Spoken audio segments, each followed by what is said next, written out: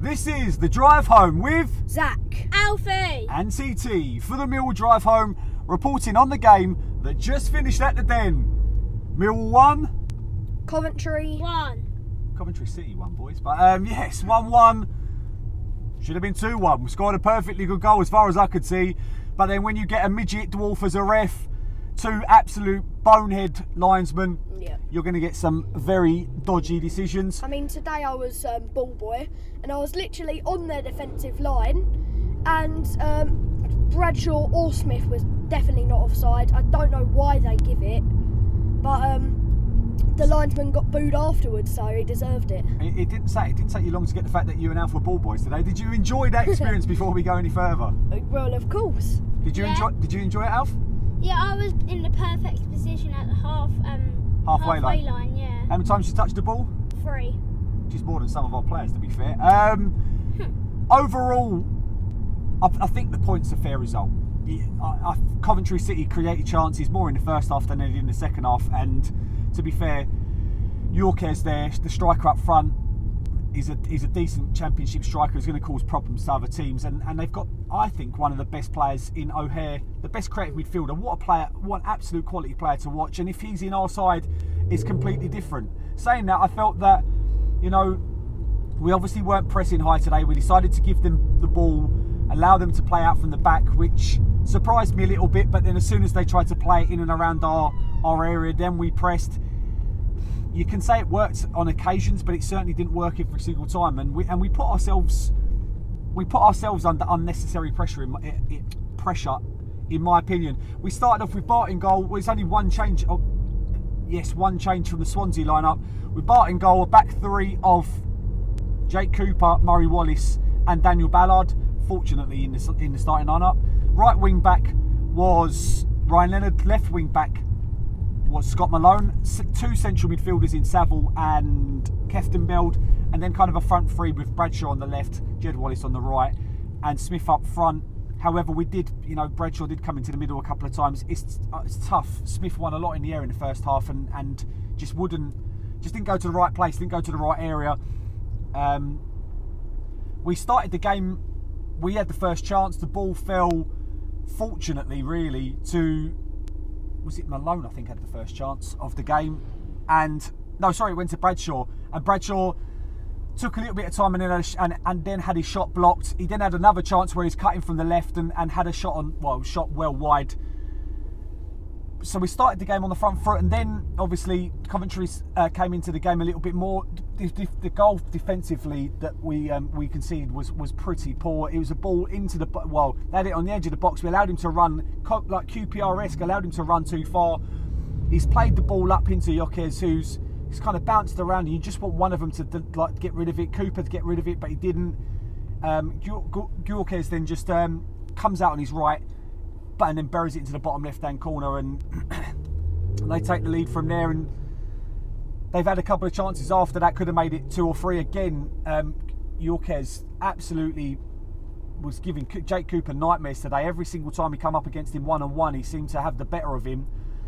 Uh, before I go any uh, further, before I say about our goal, please drop a like on the video if you like it. Subscribe. We're nearly at 2,000. We're slowly creeping our way up there. And and another thing is, we love the fact that so many people talk and you know come up to us and say hello and and, and they like the channel, which is really it's really nice and it's you know another part of the fact that we're the Mill family. So we really do enjoy that. So keep keep stopping us, keep saying hello. We then equalise after the couple of Coventry City chances with probably our first big chance of the game. It was a really well worked move actually. The ball's played up to Smith, who then plays it out wide to Kieftenbeld, who slides in. Um, making the light doesn't change, eh, which it just has. Uh, slides it into Jed Wallace, who No, does. it was Len. It was actually Leonard that played it down to Jed Wallace. Yeah, sorry. Leonard plays it into um, Jed Wallace. Jed Wallace cuts the ball across, and I, I, I don't think Saville. I think Saville mishits it actually. I think he bounced into the ground. He might have deflected in, but he's in the right place at the right time. He's put pressure on the defenders to make sure that he's. Um, it's an ambulance, not police. They're not after me just yet. Um, he, he puts it, makes it one-one. Coventry City again have another couple of chances. Similar play. uh, They- controlled the ball really well in and around the box. Some lovely, some lovely interplay, and, and they're a very good side. And they've got some excellent players. And sometimes you have got to hold your hands up. I was just disappointed with with what we played in the second half, and I'll go into that. I felt that the big chance, obviously, at the end of the first half. What was that? Do you want to say, do you want to, do you want to say it? Do you remember it? Um, well, I think it uh, like bounced around to Malone, and then um, Malone smashed it, cut, like cut across it, and it was a nice save by the keeper. Okay, I was talking about our the, a disallowed goal. Oh, did Oh, Um, but th- so that was a, a ball crossed in.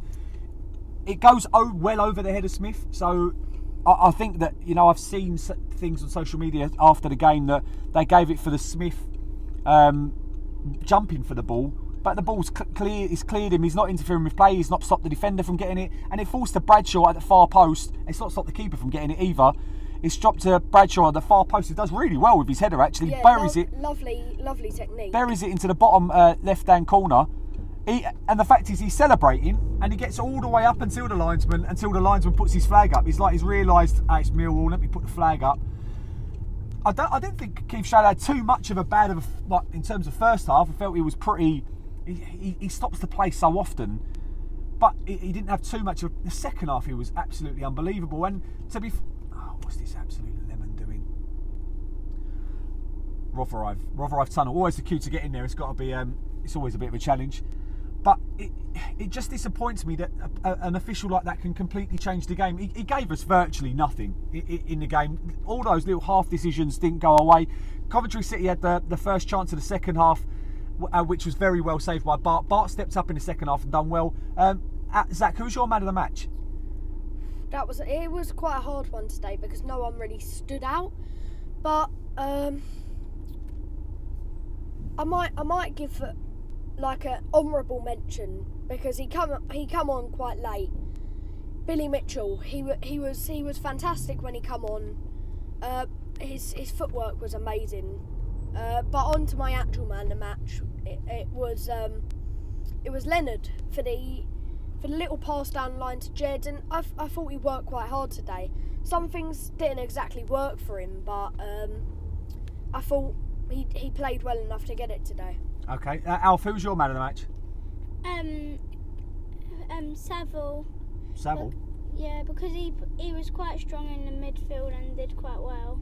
Okay, uh, my man of the match was Daniel Ballard again. I think this guy is an absolute talent of a player. Really, really solid at the back. He dealt with everything. You know, every everything that came towards him, he dealt with effectively. It was it was only the the, the other side where. Um, like I said, Cooper, Gyökeres went up against Cooper and he was the one that was struggling. But Ballard again today was absolutely fantastic. Passes the ball around, so physically strong, positional wise, he's, he's really good. Um, if we go through, I'll, I, we'll do a quick. Um, I thought Bart done his job well. Comfortable, comfortable seven or eight out of ten. I, I felt Ryan Leonard didn't have a great game. If I'm if I'm completely honest, I felt that he, he gave the ball away a couple of times. I, I, I was surprised that it, he'd started in front of Billy Mitchell. What he does do well was is is, is win more aerially than, than Billy, but but we didn't really that wasn't really Coventry's game plan unless that was um, the thing seen. Left wing back, I didn't think that was Scott Malone's great uh, greatest of games either. He had um, the half volley in, in the first half where he swiveled on it. He's looking inside, and the other player I want to say let's look inside is Jed Wallace. He was finished last 25 minutes, and the first time I've seen him look absolutely, he looked really frustrated today.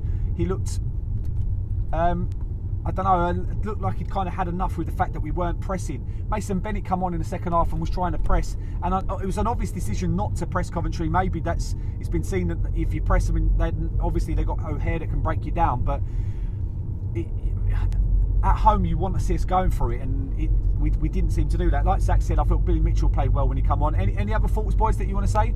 Um, that well, Daniel Ballard was taking a throw in, literally right next to me, and he looked like he was gonna pass out. He was red. He had a black eye. Oh my god, he he literally looked like he was gonna faint. Well, that's because obviously during midweek um, at the Swansea game, and he, he, looked like he was going to miss today, but fortunately he didn't.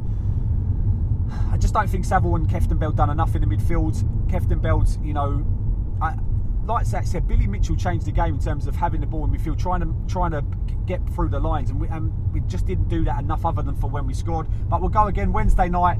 Obviously, we're at home to Leicester in the cup. It's going to be a bit of a challenge, but we'll be there again. Uh, boys, rating out of today, obviously the fact that you're ball boys, I'm surprised. I'm sure that's going to give it a little bit more. So, what would be your rating? It was probably a nine and three quarters today. Nine and bit three of, quarters. Bit of a Harry Potter mention. bit Harry Potter mentioned. Alf, what would you give today? Um, being a ball boy, 10 out of 10. Yeah, It was really fun. yeah. But um, the match, it wasn't. Nothing was really going on that that well, and it was a bit more scrappy than usual. So I'll give it that an, an eight or seven. Cool. And I'll give it. I'll give it a six. I want to see us be more attacking. I want to see us try and go. But then you look at the injuries we've got with Afobe and Ojo. We've got good players that, that are not in the in the squad. I felt Mahoney came on and done absolutely nothing. To be honest, I don't like the fact that he doesn't seem to run for the ball. But people are asking for him to get more minutes. Maybe if he started, maybe if he got more minutes, he'd, he'd be more effective.